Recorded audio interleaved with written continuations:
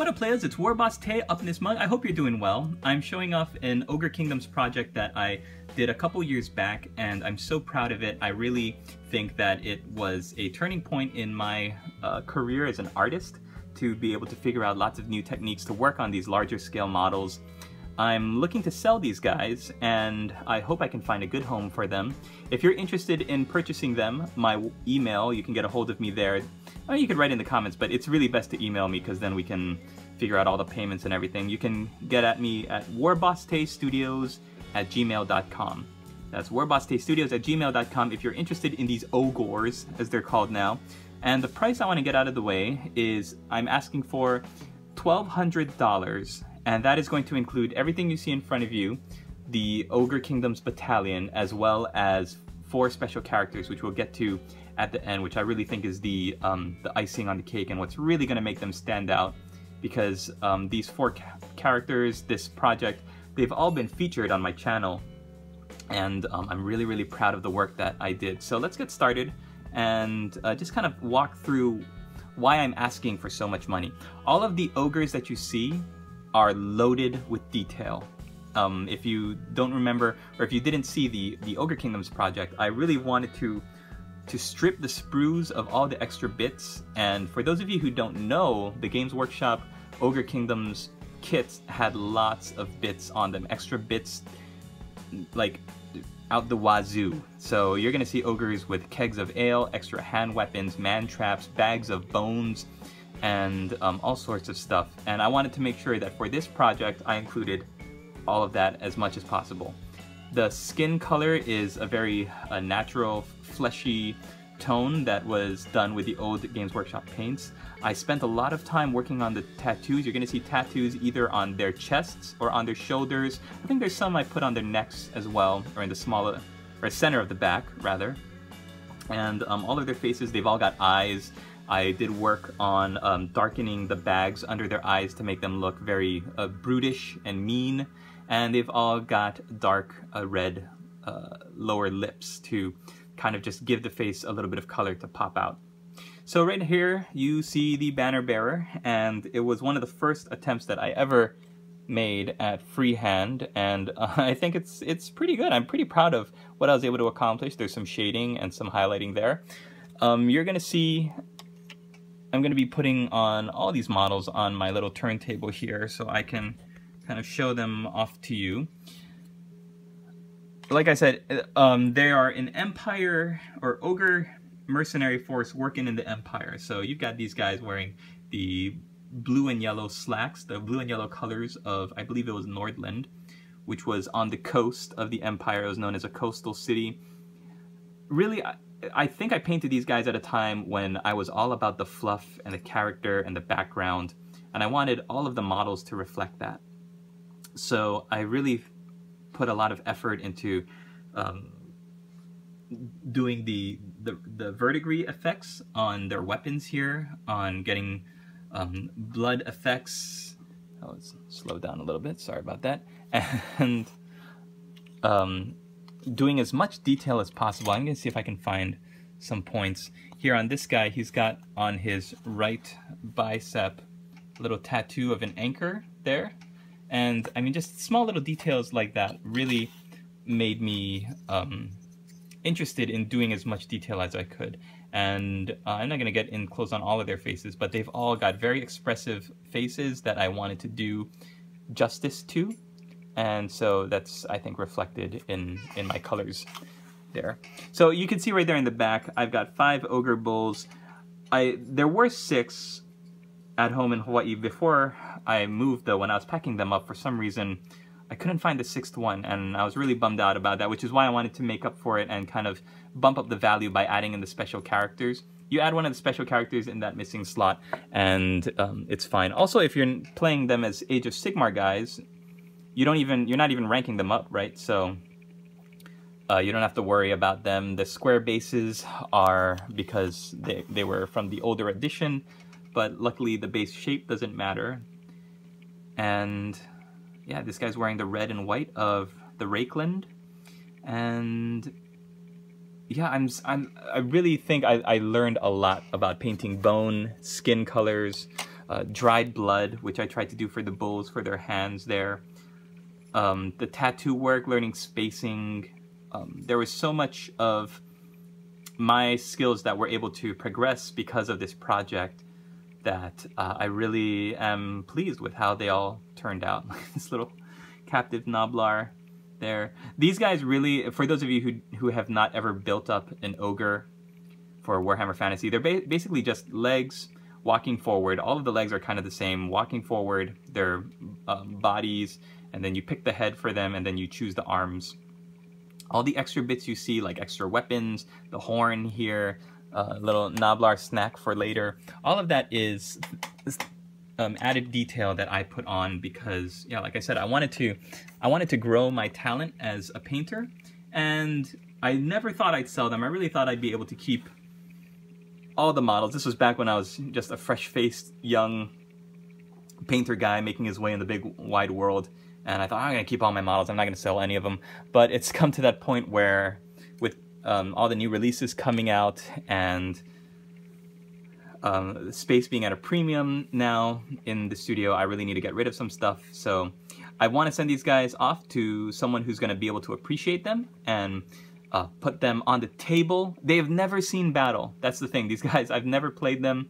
I painted them all the way up. I've never played them. I want them to be on the battlefield. I want them to meet and smash other miniatures and um, in any game system they play. So I, I really hope that I can sell them off. And I think um, 1200 is, is pretty fair for the amount of work that I did on them. You're going to see, this is Danny Trejo, o Ogre because for some reason I don't know why his I, I really thought his face looked like a looked like an ogre version of Danny Trejo.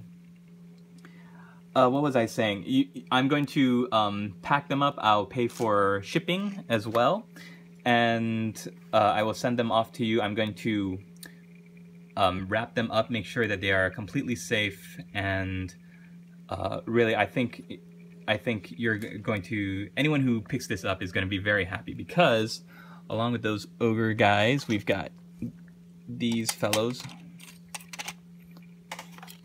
The lead belchers I painted up um, with a lot of soot effects because the rules at the time were that the lead belchers could misfire and blow up and they could hurt themselves with it. So I thought, oh, that's a cool theme. So, and you see some ogre lead belchers with lots of uh, wounds on their faces. They've got shrapnel bedded into their faces. So I thought, why don't I make them look all charred up like they've been working and like they're on their second or third cannon already and uh, the other ones have already blown up. And uh, I think I did a pretty good job with that. I love this little Gnoblar on the shoulder here, like he's lighting the fuse for his his buddy. I did some effects where this guy's got like an old gold kind of cannon. This guy's got like a dark uh, bronze that's already fading into uh, and, and got some wear and tear these guys is like another gold one, and this one's like a silver one. But they're, like I said, they're fantastic models, and the sculpts are terrific. I really enjoyed painting them up. And, um, yeah, with, with ogres not really uh, as a force of destruction for Age of Sigmar, there's not really too much support out for them them yet because uh, Games Workshop is really focusing on the the Stormcast Eternals and and all that stuff. But I think hopefully they'll they'll get a lot of popularity and they'll gain some um, just you know more exposure in the future because they're such great models. I mean, look at this guy. I painted him up with Tamiya Clear Red and some gloss all over his mouth, this fellow, because of all the shrapnel on his face. And so it kind of glistens in the light when you kind of turn him there. You go, ooh, look at that. He's got shrapnel all over his face. So really, I, I'm so proud of these guys. I wish I could keep them, but um, I also wish I had money. So that is why I'm selling them off. What is what is this tattoo I did? Oh, this one is. This tattoo is, I believe it is the uh, Templar cross with a white laurel wreath around it. You're gonna find things like that on all of my models. If you look at them, you're going to notice, oh, he's wearing the kind of colors of Nuln because Nuln was the imperial, the home of the Imperial Engineering School where they manufactured cannons. So this guy is either had followed a Nuln expedition and took their banner and sewed himself some pants with it, or he um, he kind of learned how to use his gunpowder cannon blunderbuss from them. And yeah, it's just small details like that. Okay, I'm not gonna have.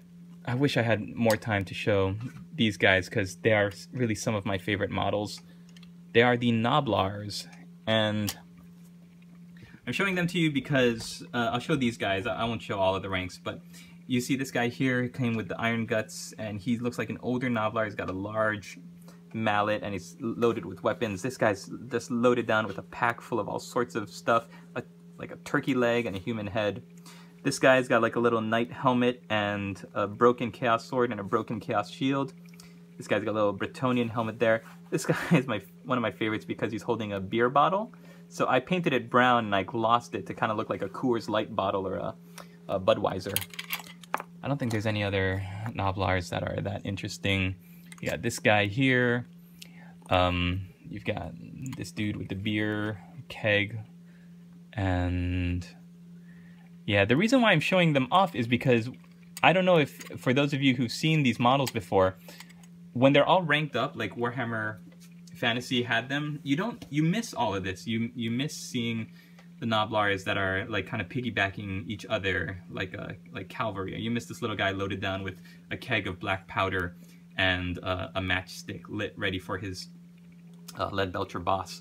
And so I think having them in your collection to play Age of Sigmar with and spread them out as as, as a skirmish, I guess, style, I think that's great. And so, yeah, we're not going to go through all of the Gnoblars. Like I said, you get 20 of them. Oh, is this a... He's got like a pie. I forgot this guy had like a pie in his that he's holding on his back. It is so cool. Fantastic. Alright, so now we get on to the special characters. My favorite part of this project was painting all the special characters. And um, you're to get these included in your deal, so let's walk through them. First, you get this Ogre Pirate. I painted him up to look like the ship's anchor that he's using as a weapon is kind of rusting over because it's been at the bottom of the ocean.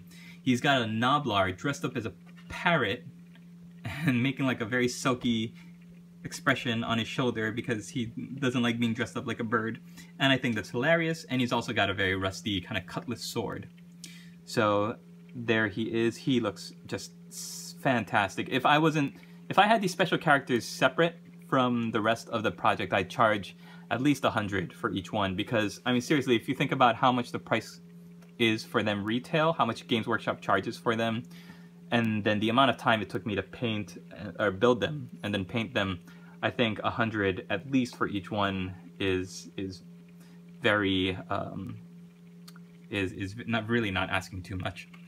So there's him. I've also got this gold digger. She take my money and um, I love how I. It's, it's, so stupid, but I love how they included this this pack because then I was able to paint it up to look like a Louis Vuitton handbag with the little uh, symbols there. She's got a portable little lunch uh, lunchbox there, lunch cauldron, so she could cook up uh, anything she finds. And oh, look at that expression! What a lady, my kind of woman. You can throw her easily in with the Iron Guts because she's got this two-handed weapon, this ro giant rolling pin. And uh, yeah, let's take a look at her in all her glory a little bit more. For those of you who've never seen the female ogre, um, she comes with a beard. Back when they were in metal, you could have glued the beard on her, and I thought that's just ridiculous. So I, I left it off because there should be females in every race. Represent girls. I also um, made her appropriate for the for the Iron Guts. You can see that she's in the blue and the yellow of Nordland. And I gave her a Yeti pelt. I painted the pelt like I would paint um, those Yeti figures for the Ogre Kingdoms. I never got to paint any Yetis, but I think that's how I would have painted them. Fantastic model, a lot of fun to paint. Gave her a gold tooth there in the front. And um, I yeah, red hair because she's a she's a redhead the Scarlett Johansson of ogres. That's what she'd look like. Okay, next we've got, oh, my boy, Ninja Steve and his little Donatello Gnoblar. That's right, I forgot this. This Gnoblar was the first guy I ever painted for a tutorial. So if you get this, if you get this project, you are going to be getting a piece of Warboss Tae Studios history. And I named him Donatello because he's got that quarterstaff. I'm so sad they killed him off, and so I gave him that purple um, head wrap mask thing because, you know, props to Donatello and the Ninja Turtles. and there's Ninja Steve. I painted his arm as a tattoo sleeve, like a Japanese, uh, I think like Yakuza, and um, I guess now a lot of people have like those those arm sleeve tattoos. So I looked up a lot of examples, and that's my interpretation of it. I gave him blonde hair because I think the um, Caucasian, all decked out as a ninja, like the American Ninja, Beverly Hills Ninja. It's Chris Farley is is like a funny concept rather than having him have black hair, which would blend into the wrappings. I think the idea that he's a foreigner who's just kind of like really um, taken to the culture of the of the ninja has has uh, really re resonated with me. And I gave him some really cool looking scars on the front. Don't growl, Duke. It's just a ninja. And um, I did that with scab red and some Tamiya clear red. Okay, the last model I want to show in the project is, yeah, this guy's scary. He is the Ogre Slaughter Master. Let's see if we can get some more light on his face there. And he is a brute. This guy is uh, a model I'm very, very proud of.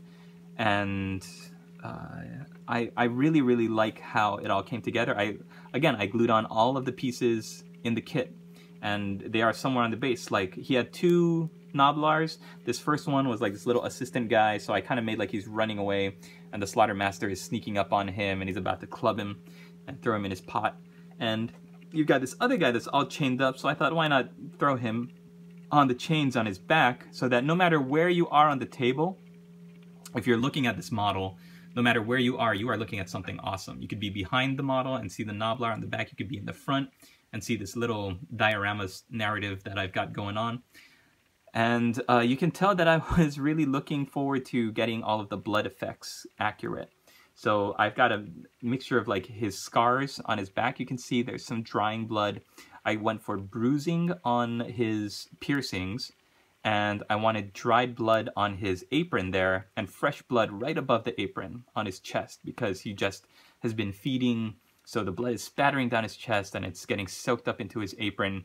His apron hasn't been washed for weeks which is why the blood looks old and uh, really caked on there. So there's a lot there's a lot going on in this model and I built him up on that cork base also because as a special character I wanted him to be able to be used as uh, to have the option of being able to be like the army general just to give him a little bit of height there but uh, yeah this is the final piece I wanted to show oh my gosh we're already at 18 minutes and um, if you're still watching this video then you can tell, just by the tone of my voice, how much fun I had with this project. It, it really was, um, I think, where my skills were tested and where I really learned a lot of new techniques with highlighting, blending, scars, uh, getting this kind of Caucasian skin tone just right. The um, Ogre Kingdoms project will always be one that I am um, that I, I have so much so much pride and you know positive feelings. I want them to go to a good home, which is why I'm asking for 1200 for them. And if you are interested, then please, like I said in the beginning, you can contact me at warbosstaestudios at gmail.com and um, we can work out how I uh, how the payment is going to go and uh, usually through PayPal and I can invoice you for them and I can get them sent out to you. So love your projects, guys. I'm I'm kind of you know very happy that I've, I'm just looking at them all now. I'm so happy I was able to do them, and uh, they really were a turning point, like I said, for my channel. And I hope to get them out to a a happy home as soon as possible.